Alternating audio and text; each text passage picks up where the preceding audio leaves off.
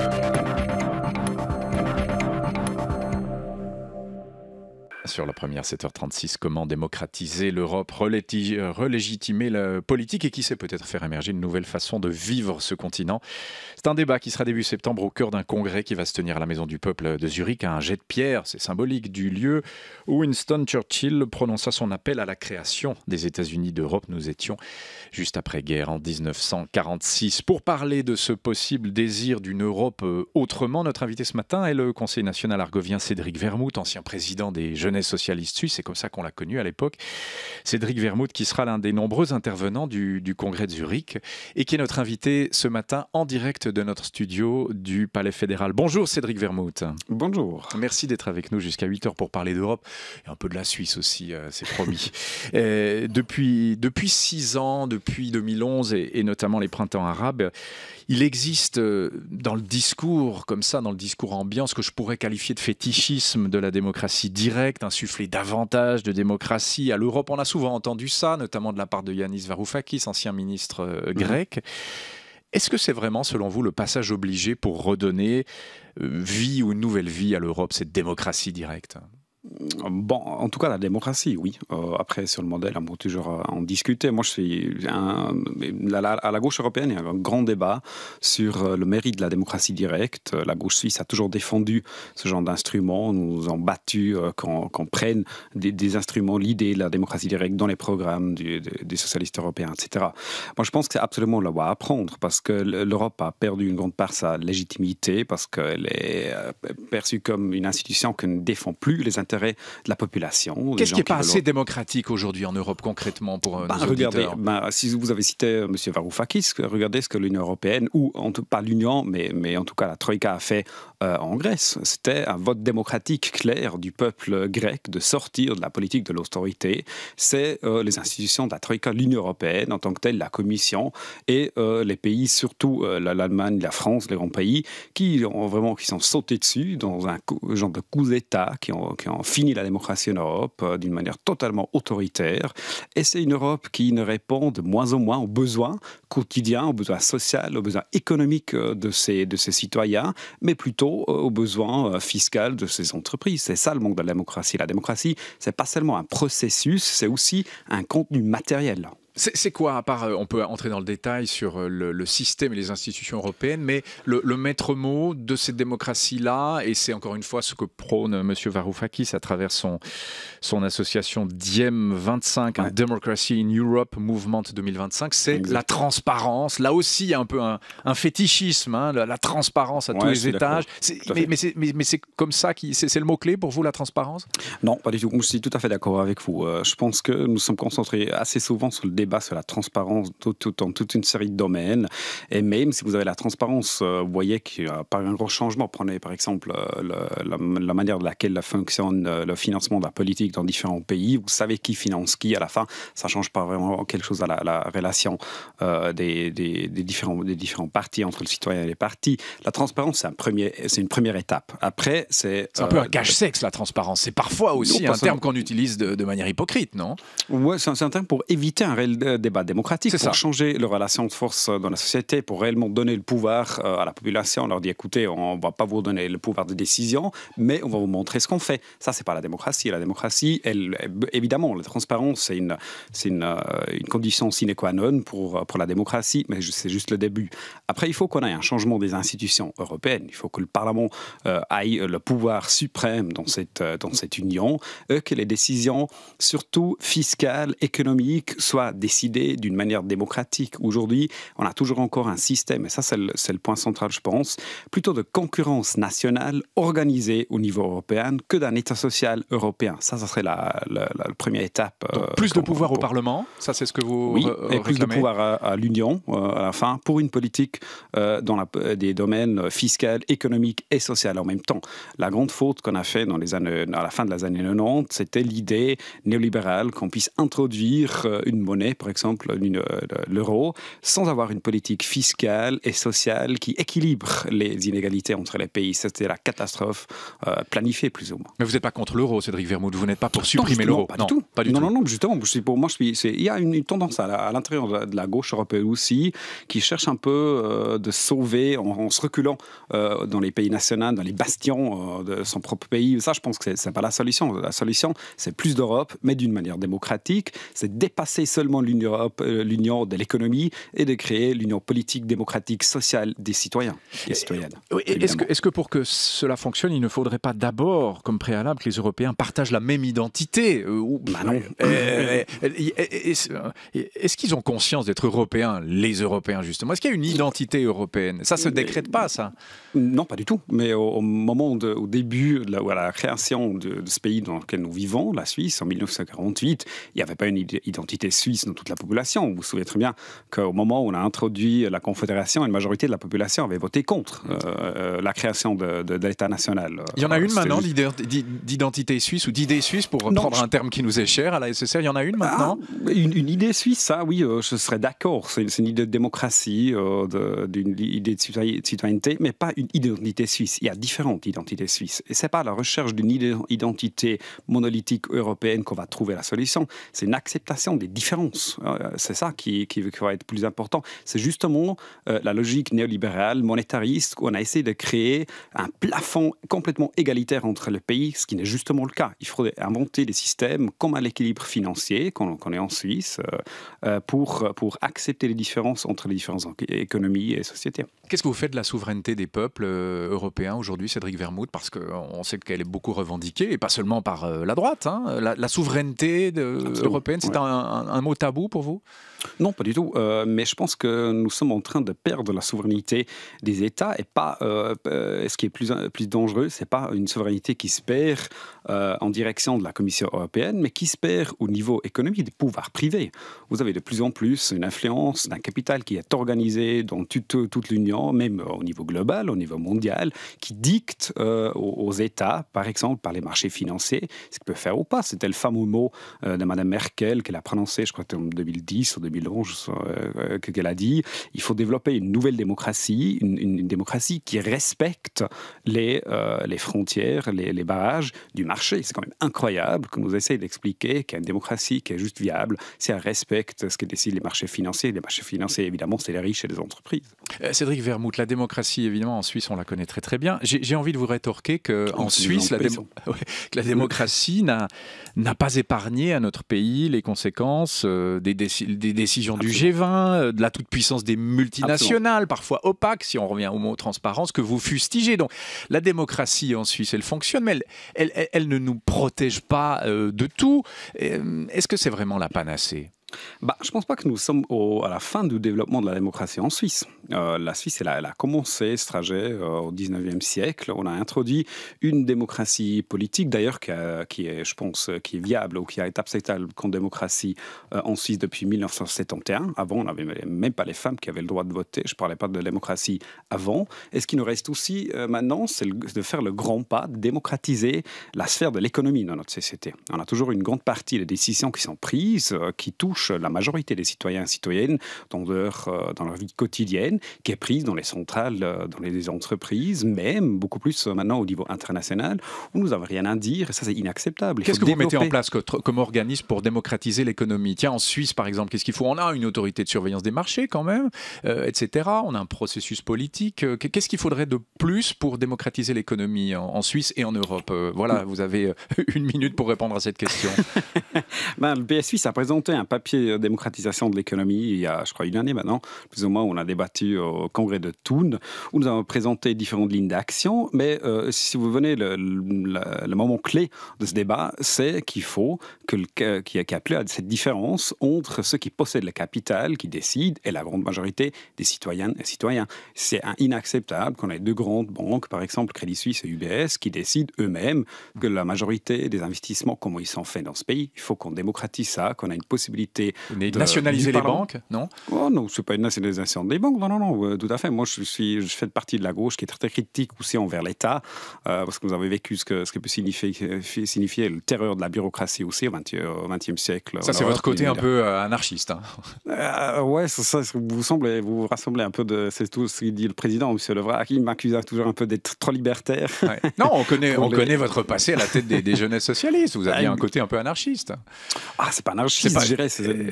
C'est pas péjoratif hein, dans ma bouche. Non, hein. non, non, c'est une tradition libérale du socialisme, tout à fait, dans, dans, le bon sens libéral. Dire, il faut, c'est un, un, combat pour l'émancipation contre tout pouvoir. C'était à l'époque, au début, contre, contre le pouvoir de euh, l'Église, contre le pouvoir du capital, mais aussi contre le pouvoir de l'État. À la fin, c'est la liberté au corps. Alors revenons aux banques suisses. Qu'est-ce qu'il faut faire pour mieux les contrôler, si ce n'est pas euh, passer par euh, quelque chose de plus étatiste? Qu'est-ce qu'on fait là? Ben, Il y, a une partie évidemment que je pense que, qui pourrait être repris par l'État, par, par exemple par, une banque de la Post Finance, mais qui devrait être dirigée pas comme une entreprise commune, mais par une euh, entreprise qui est plutôt qui essaie de développer un autre modèle d'investissement qui existe, par exemple à la banque alternative, qui existe déjà en Suisse, qui essaie d'investir plutôt dans des projets sociaux, écologiques, là où sont les besoins réels. Regardez ce qui sont les besoins de notre planète, de notre pays aujourd'hui. Le, problème peut-être le, plus crucial de notre planète, c'est d'une côté de la migration, de l'autre côté, ce, qui, ce qui est une, liaison directe, c'est le développement de notre, de notre climat.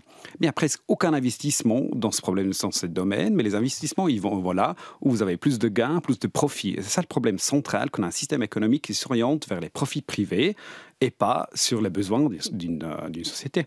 Alors ça, c'est une proposition pour les banques. Vous voulez parler de la migration. Effectivement, on va y venir à travers un article de presse, parce que c'est vrai que ce qui touche l'Europe aujourd'hui, c'est la problématique des migrants. C'est peut-être ça qui définit l'Europe par, en, creux ou, par défaut, la non-réponse à ce problème.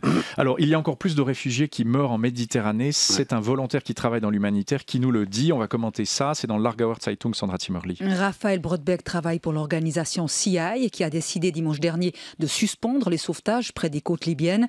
Un développement qui m'énerve, me frustre et me laisse sans espoir, dit-il dans le journal. Le recul des ONG entraînera encore plus de morts et d'ajouter, rien que lors de notre dernière mission dans notre petit secteur, cinq bateaux, soit quelques 100 réfugiés, n'ont pas pu être secourus. Ils se sont euh, certainement noyés. Et lorsque l'Italie et l'Union européenne affirment que les gardes-côtes libyens seront mieux s'en charger, c'est tout simplement euh, cynique et faux, selon lui. Alors, la démocratie économique pour l'Europe, vous avez esquissé quelques pistes de solutions, Cédric Vermouth. Le problème principal, j'ai envie de dire aujourd'hui. Ce, qui, qui, définit l'Europe, c'est la question des, des migrants, des, réfugiés. Euh, qu'est-ce qu'on doit faire là? Parce qu'évidemment, nous sommes en, en faillite totale ou quasi totale. L'Europe ne peut pas répondre à cette question. Qu'est-ce qu'on devrait faire? Qu'est-ce qu'elle devrait faire? Bon, euh, il y a différentes pistes aussi pour, pour y répondre. D'abord, il faut euh, qu'on clarifie clairement, ce n'est pas une crise de migration d'abord, c'est une crise du système humanitaire européen. C'est quand même impressionnant que ces quelques milliers de migrants qui arrivent en Europe, dans un, dans un continent avec 500 000 euh, millions d'habitants, ils sont complètement incapables de gérer cette situation, ce qui est, je trouve, complètement inacceptable. Aussi la manière de laquelle on gère cette, cette crise pour, pour le moment, où c'est le manque de, solidarité entre les différents pays. C'est juste une c'est une de volonté politique. Si on est capable de sauver un système bancaire en 2008, on est aussi capable de sauver les, gens qui, qui, sont en train de mourir euh, au, dans, dans, la mer euh, Méditerranée. Et moi, j'aimerais remercier à ce moment aussi tous ceux, ceux, et celles qui sont engagés maintenant dans ces, toutes les différentes organisations qui essaient de, faire ce sauvetage à la place de l'État euh, qui, qui, ne le fait pas. C'est vraiment, moi, j'ai complètement honte d'être européen si, si j'entends ce, ce, genre d'histoire. Vous faites le parallèle avec la crise financière de 2008 en disant là, on a mis les fonds pour sauver les banques et ah, donc sauver les États. Là, la crise migratoire, on ne le fait pas. Euh, est-ce Iriez-vous jusqu'à dire qu'il y a, une, une, part un peu euh, cynique et, presque même volontaire de laisser faire les choses? C'est absolument clair, c'est une volonté. Si vous venez au Parlement suisse, euh, écoutez ce que dit l'UDC sur la crise migratoire, c'est clair, une volonté politique de la majorité droite de dire il faut faire noyer les gens pour qu'ils comprennent qu'ils ne viennent plus. C'est une base, c'est une frontière claire, c'est une volonté politique de faire mourir les gens euh, aux frontières d'Europe pour avoir euh, un, signal clair envers l'Afrique qu'on ne va pas avoir plus de, plus de migrants. Accusation très grave, là, on fait, on fait cyniquement mourir, se noyer les gens dans la Méditerranée pour les, les dissuader persuadé oui, tout à fait. Ça, je, je, défends en France. Ce n'est pas une question de, volonté politique. Si vous voulez, si regardez les armées européennes avec tout ce bateau, si on voudrait résoudre la situation, on pourrait le faire. On pourrait les mettre euh, là, à la Méditerranée, ça serait aucun problème, au moins de sauver une grande majorité. Peut-être pas tous, peut-être vous avez des catastrophes, je, veux, très bien. Et ça, je pense que ça serait la première réponse. Notre réponse, première réponse, c'est une réponse humanitaire dans, une, dans une, euh, cette situation.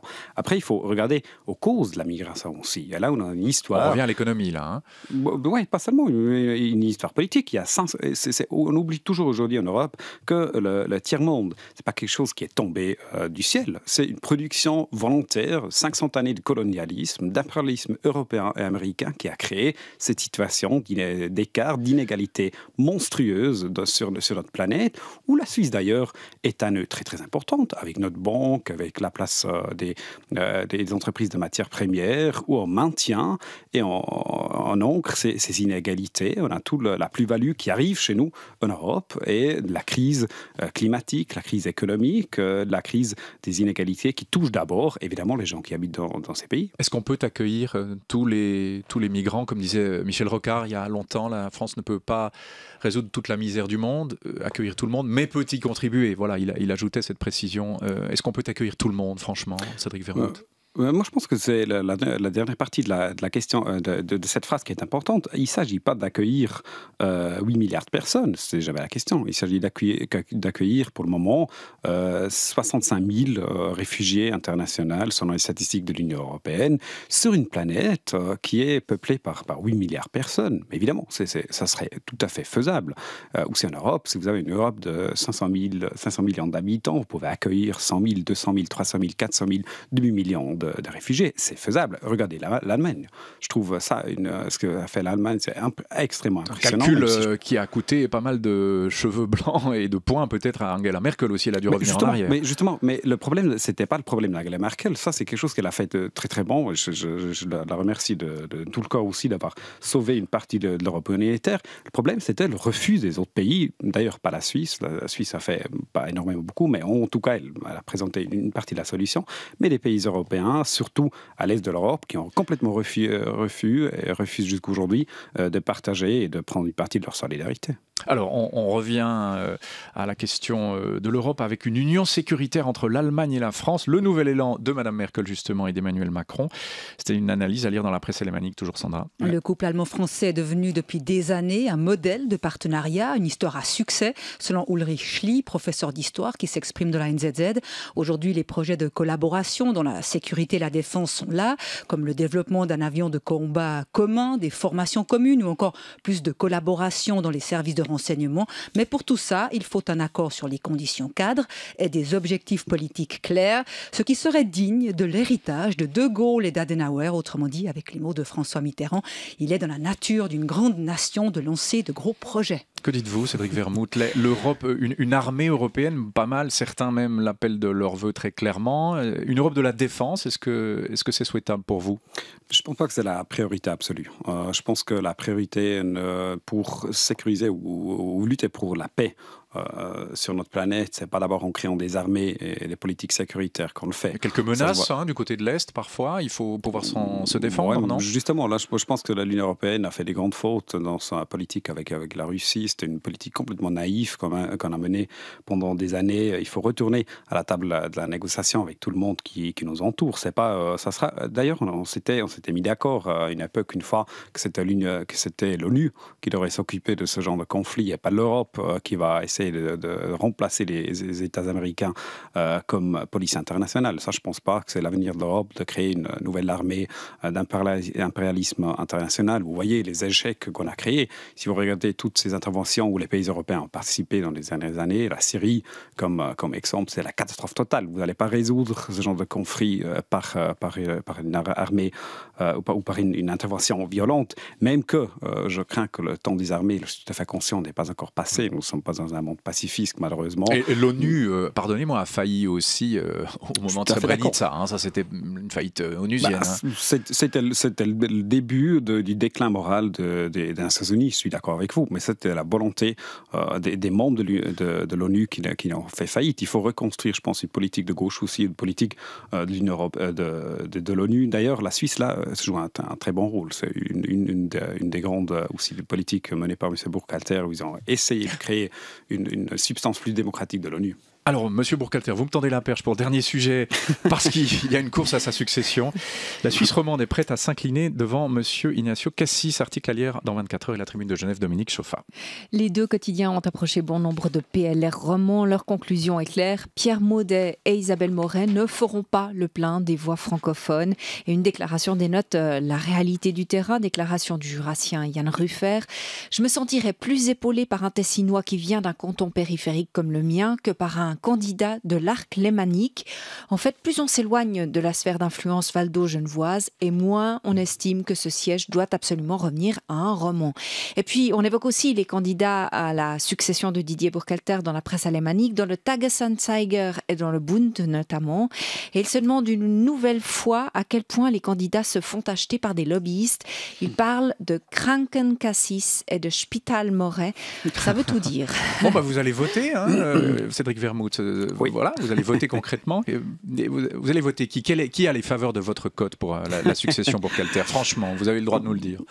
Ah, c'est gentil, merci. Euh, bon, on verra après la nomination du groupe PLR. ça sera après le 1er septembre qu'on saura ce qui est candidat. Mais aujourd'hui, entre Madame Moret, Monsieur Maudet, Monsieur Cassis moi, je, on verra. On pourrait aussi voter un candidat PS. Pour le moment, tout est ouvert. Vous n'avez pas voté un candidat PS quand même moi, j'ai jamais compris pourquoi ce deuxième siège devait être absolument euh, appartenir à un parti de 12%, euh, ce, qui est, ce qui est le PLR.